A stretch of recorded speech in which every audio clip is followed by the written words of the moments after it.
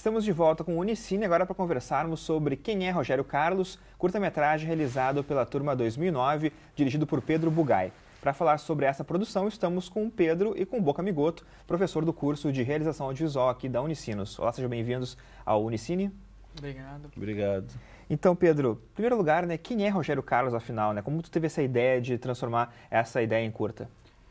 Eu vi o... A ideia surgiu quando eu vi o curta é, Os Filmes que Nunca Fiz, do Gilberto Scarpa, que retrata um cineasta que tem vários projetos e não consegue realizar nenhum. E uma das histórias é a história dos Elvis, que é fã de Elvis, e ele acorda numa nova dimensão e descobre que o rei do rock é o Roy Osborne. Daí ele decide virar os Elvis, não Elvis. E daí surgiu uma, uma frase assim, ah, por que, que o rei da música brasileira não poderia ser o Amado Batista? E na disciplina de roteiro, com a professora Elisiane Cohen, na, na época, ela sugeriu, ah, toca esse projeto e tal, escreve o roteiro. E daí começou a surgir a ideia, assim, primeiro veio o Adelino, daí o Adelino surgiu a, a Suzana, que é terapeuta, e só era isso. Daí, eu, conforme o processo de de escrita do roteiro, eu tive a ideia de criar a a, Marília e depois o Rogério Carlos mesmo. Foi meio que em processo, assim, teve várias versões do roteiro e caminhou como está no filme, assim. E, Boca, a gente pôde ver o curta e viu também que tem uma, uma, grande cuidado com a direção de arte nesse curta, que é uma coisa que acontece muito também nos, nos curtas do curso de realização de aqui do Unicinos. Você podia contar um pouquinho pra gente sobre isso? Sim, o, o curta do Pedro, ele, ele, se preocupa bastante com a direção de arte, porque a direção de arte acaba construindo todo um universo que envolve o personagem. E, e na verdade, a direção de arte faz parte de uma das especialidades né, do, do curso. Né? Chega um determinado momento do curso que tu opta por algumas especialidades para seguir adiante. Né? Uh, então, quem, quem, quer se especializar em, em, direção de arte vai fazer direção de arte, também pode fazer di roteiro, direção de fotografia. Uh, e aí, nos, nos, no, nos cursos, no final do, do curso, quando quando cada um vai fazer seu curta, vai trabalhar com alunos uh, de cada especialidade. Então, quem fez a direção de arte do teu curta foi a, a, Isadora. a Isadora. E ela, te, ela, foi uma das especialidades dela, né, a direção de arte. Ela teve um cuidado muito grande com contemplar o, o personagem com um ambiente bem, bem factível. Aí, para poder também construir melhor esse personagem. Deu para ver, inclusive, né, Pedro, que a, o, todo o apartamento ali, né, do, do, do sujeito, é, parece que parou no tempo, na verdade, né? Então, isso foi uma ideia também dela, né? Na verdade, foi uma ideia que eu propus para ela, assim, uhum. porque quando ela perguntou quem era o Adelino, eu falei, é um cara que vive, que é fã do Rogério Carlos, e ele parou no tempo, ele não sabe mais quem ele é, ele acredita que ele é o Rogério, assim. Então, ele meio que parou no tempo, né? no filme nos anos 70 mesmo. Então, ele acredita que ele vive ainda nessa época. Então tudo, a roupa dele, por exemplo, ele é meio gordinho e, e, não, e a roupa é apertada. Então meio que dá a entender que ele não aceita mesmo quem ele é agora. Então isso foi pensado também no cenário, assim, que essas informações estivessem para o filme e não não precisava estar no roteiro, num diálogo. E como é que foi o contato com o Amado Batista para poder eh, usar o nome dele aqui nesse curto? Com o Amado foi tranquilo, assim, eu falei com o empresário, entrei em contato, ele após várias e várias conversas, ele liberou, assim. E daí ele, ah, toca ficha, não tem problema nenhum, assim. Ele ficou feliz com a homenagem. Algumas vezes deu uma risada, assim, o porquê do Amado Batista. Eu tinha que explicar que, quando eu era pequeno, eu escutava Amado Batista com as empregadas domésticas que trabalhavam na minha casa, então veio por isso, assim. E Boca, o Crave está completando 10 anos agora, em 2013 também. Pode ser dita que é uma das grandes produtoras de curtas-metragens do Estado, né? Porque, afinal de contas, são vários curtas, né? Dá para comentar um pouquinho também sobre esse trabalho que é realizado aqui no curso? Sim, com certeza. Como todos os alunos que entram no CRAVE, que se formam no CRAVE, cada um deles realiza o seu curta-metragem, a gente pode ter uma ideia aí de pelo menos uma média né, de 20 curtas-metragens por ano que a gente produz.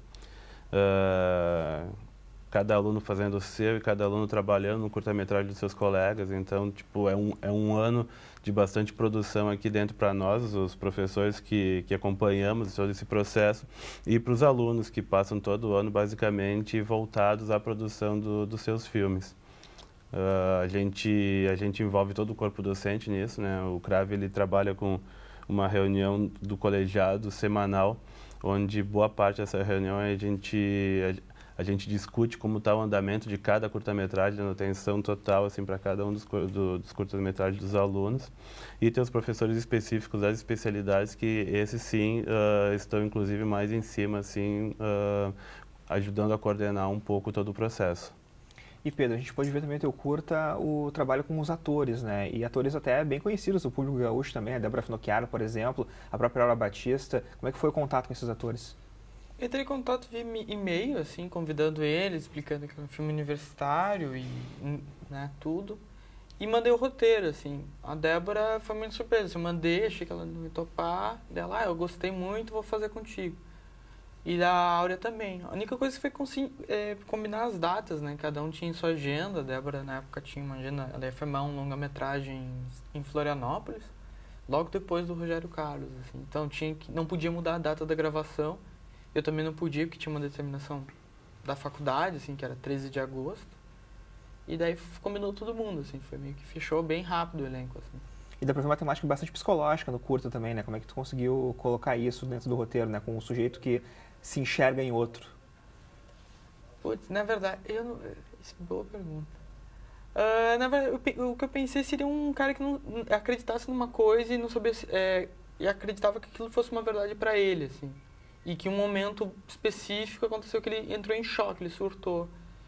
Então, e isso poderia gerar uma série de comédias, situações engraçadas envolvendo a, a, a, o feedback da cultura brasileira e música brasileira com isso. Então meio que foi pensando, na verdade a pergunta, o nome do filme, quem é o Rogério Carlos, sempre é quem é o Roberto, é, quem é o, Amado, o Adelino, desculpa. Que ele não sabe quem ele é, ele chega com 40 e poucos anos e descobre que tudo que ele acreditava não, não existia, então ele não sabe quem ele é. Daí a pergunta do filme, que é quem é o Rogério Carlos, muda no final para quem é Adelino, né? Que ele muda de personalidade de novo para conquistar a mulher, né? No final do filme fala, assim, ele leva para o quarto. É verdade. E Boca, como professor também, né, quando uh, se depara com um, esse um curta-metragem já finalizado, realizado e bem realizado, aliás, dá para notar que o trabalho foi bem feito durante todos esses anos que está sendo feito, então, esse, esse, passar, essa, uh, esse passar de conhecimento que vocês fazem então, com os alunos? Sim, com certeza. É uma satisfação para nós, né, porque percebes que o curso, o curso tem quatro anos, né, então, embora a gente esteja aqui falando das especialidades que acabam direcionando eles no, no final do curso para a realização do, de, cada, de cada filme, eles têm antes disso todo, toda uma base que vem lá desde as teorias sobre cinema, história de cinema, uh, história do audiovisual, uh, enfim, é, disciplinas de ética, passa por cadeiras de documentário, passa por cadeiras de televisão. Então, tipo, tem toda uma base que acaba culminando uh, no conhecimento que eles adquirem durante esses, esses, três anos anteriores acabam culminando no, na realização do curta-metragem. Então a gente fica bastante satisfeito com isso. E o filme do Pedro foi um filme que é bastante primoroso, é um, bastante, é um filme com, feito com bastante cuidado e prova disso é que passou aí em vários festivais, né, vários festivais importantes, aqui em Gramado, foi para Minas Gerais, Tiradentes, Tiradentes. Tiradentes e vários outros festivais. Então, isso nos satisfaz bastante, assim. Bacana. Pedro, Boca, obrigado pela participação aqui no Unicino. Sucesso para vocês obrigado. e até uma próxima. Nós que agradecemos. Obrigado. Valeu. E o Unicine vai fechando por aqui então, mas semana que vem temos mais curta-metragem aqui na TV Unicinos. Grande abraço e até a próxima.